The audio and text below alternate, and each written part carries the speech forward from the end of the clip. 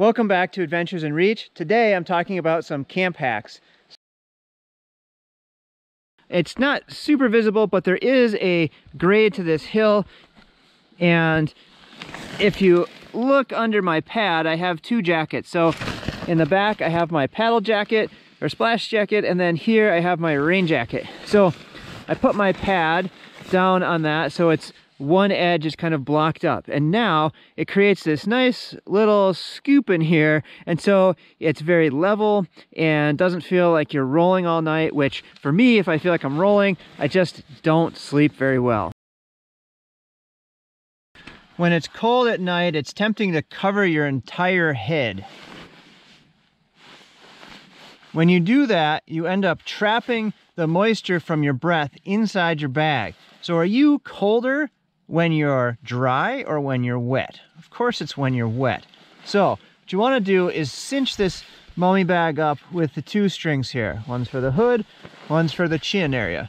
You want to cinch it up so that you have a tiny little hole to breathe out of about like that and then your moisture can escape and the air is not coming in. If you've also wondered, some of the bags have little baffles inside they kind of go across your neck. So you have the cinch here, and then you have a baffle across your neck. That's to keep the warm air down around your core, and then the only cool air exchange, if it gets in, is only going to happen above the shoulders. When you can't stick a stake in because you're on solid rock, what I do is I take a stick and put the strap around the stick and then put a rock in front of it and then two on top of it on each side. Pull that tight and it holds quite a bit of weight. So keep that in mind as well. Now the other thing is if you can get a stake in like right here you can get a stake in but not very far. It's a long way of sticking out. I stick it in as much as I can and then lean this rock partly on the strap and partly on the stake just to keep it from tipping up. And again, this holds quite a bit of weight. What often happens with tents is that you tighten it up when you get to camp. When you go to bed and the moisture kind of drops from the air as it gets cooler, the tent sags. Now, you want to make sure that you go around and tighten this before you go to bed, even if it was tight originally. That'll keep it taut, keep it uh, circulating air and breathing through the night so that you have less condensation and less chance to um, push against the two layers and get wet in the night. If you've ever used a white gas stove like this and tried to simmer, one thing you probably found is that it's not totally possible all the time.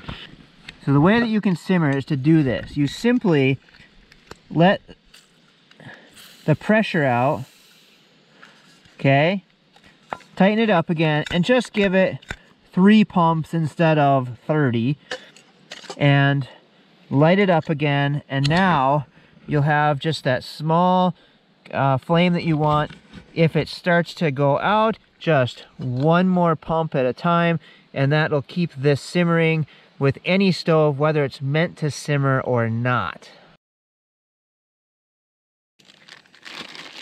Sure, when you're loading bags, you can kind of roll them down, give you a nice uh, kind of rim to work with. It'll keep it upright. I'm gonna make an omelet in a bag. So I boiled some water. Uh, so I've got some eggs here.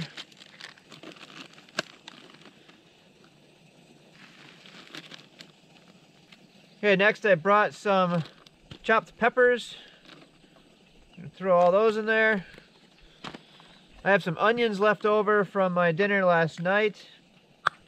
I don't usually bring containers of stuff, but I'm sailing, you know, why not? I'm gonna stick a bunch of cheese in there. And then all you gotta do is just mix this up in here.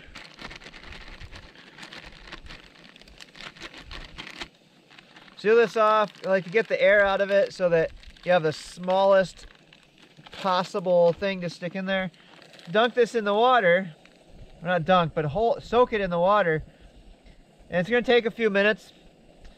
Uh, you know, you try to keep it off the bottom so you don't melt the bag, of course. Yeah, it's nice, well cooked. I'm gonna go eat. I've had it happen before that just leaving camp for a few moments to grab some firewood or go to the bathroom or you know take a short little hike to explore the mice or chipmunks have bothered my food bag so here is a good way to deal with that you can hang a, a line across put a loop over the line and a stick through it you can hang it up very quickly and easily when it's time to take your bag down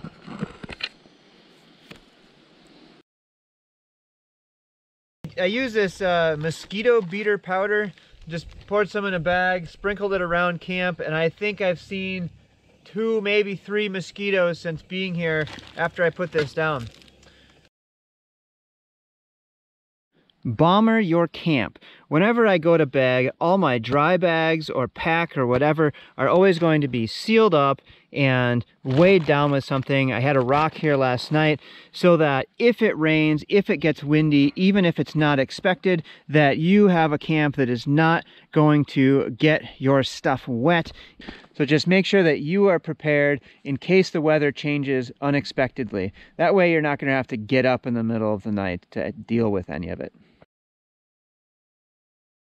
If you're traveling with a life jacket, uh, PFD, I always take this into the tent as well because now you've got a nice foam uh, piece that if you get a lightning storm, you know, you can just, you can sit on this, get into your lightning position or whatever.